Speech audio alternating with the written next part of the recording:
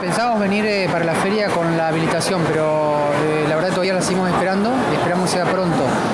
La verdad que eh, la feria es muy importante, es un mercado muy demandante y con mucho futuro, así que esperemos tener la habilitación pronto para poder empezar a producir las carnes de Entre Ríos para mandarlas al mercado chino. Cuando charlan entre ustedes, entre los empresarios, se toman un café, ¿cómo analizan este mercado tan extraño que sigue creciendo no solo en demanda, sino también en precios? ¿Tienen miedo de que sea una burbuja? ¿Creen que no, que está muy consolidado? ¿Cómo, cómo analizan cuando charlan entre ustedes?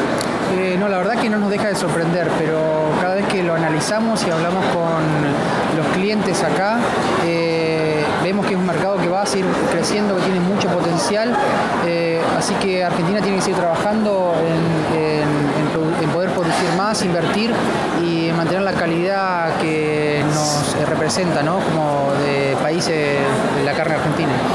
Hoy estamos con un mercado interno muy deprimido por cuestiones económicas.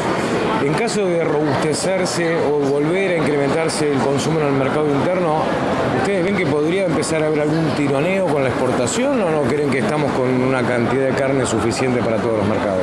Eh, no, yo creo que tenemos potencial para seguir exportando más y el mercado interno esperamos que se recupere. Eh, creo que tenemos eh, que brindar posibilidades a los productores